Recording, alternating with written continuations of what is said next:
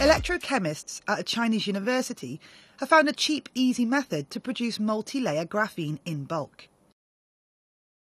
Three-dimensional porous graphene can be used in high-energy batteries and supercapacitors. The material has unique properties for energy use, but mass producing it is hard as it tends to degrade after exposure to the environment.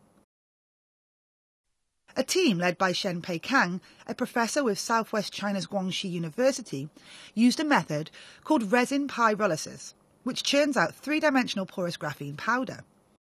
They catalyze resin with nickel at low temperatures before putting it into a high-temperature stove. Look, it inflates as I shake it. Because it has many poles, the air suffuses it. Later, it settles again.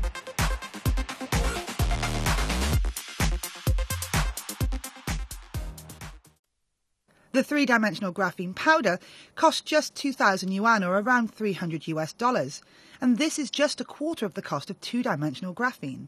The pilot factory could produce one and a half tonnes a year, and a larger factory under construction is expected to produce 15 tonnes annually.